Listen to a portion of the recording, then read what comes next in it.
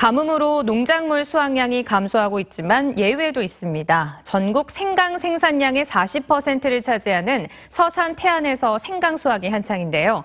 생육기에 비가 적은 게 오히려 생강 작황에 효자 노릇을 했다고 합니다. 김건규 기자입니다.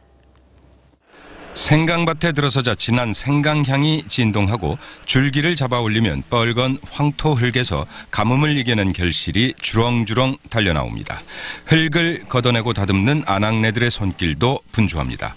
전국 생산량의 40%를 차지하는 생강 주산지 서산 태안 지역에서 생강 수확이 제철을 맞았습니다. 아, 올해는 가뭄 영향으로 초기 생육은 부진했지만 본격적인 생육기인 9, 10월에 비가 적어서 오히려 병해가 없고 작황도 양호한 편입니다. 대풍이 들었던 지난해에 비하면 가뭄으로 씨알이 좀 작아지긴 했지만 병해 발생률이 평년의 10분의 1로 줄면서 전체적인 수확량은 평년작을 넘어설 것으로 기대됩니다. 가뭄이 생강 생육엔 효자 구실을 한 겁니다. 어, 생강의 병 발생률은 10%를 넘는데 올해는 가뭄의 영향으로 1.7% 수준이었습니다. 그로 인해서 작황은 양호한 편이고 어, 평년 수준을 유지하고 있습니다.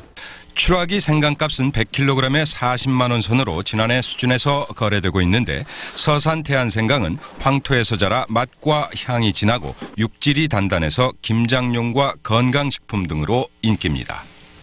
아, 황토 토질에서 어, 재배를 하고 또 토굴에 저장을 했다가 어, 김장철에 출하를 하기 때문에 더 식감도 좋고 어, 도시 지역에서 어, 인기도 좋다고 이렇게. 유례 없는 가뭄으로 올해 마늘과 양파 등 밭작물 전반적으로 작황이 부진했던 반면 그나마 생강 재배 농민들에겐 가뭄이 오히려 걱정을 덜어줬습니다. TJB 김건규입니다.